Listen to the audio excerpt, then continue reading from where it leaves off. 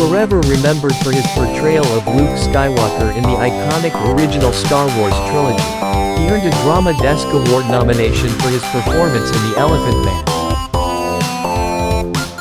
Furthermore, he lent his voice to the character of the Joker in Batman, the animated series from 1992 to 1995 and voiced various characters on the television show Regular Show from 2009 to 2015.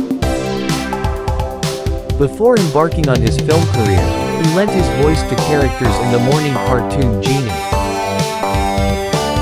His appearance on the cover of a reprinted edition of Joseph Campbell's book, The Hero with a Thousand Faces, was influential to George Lucas.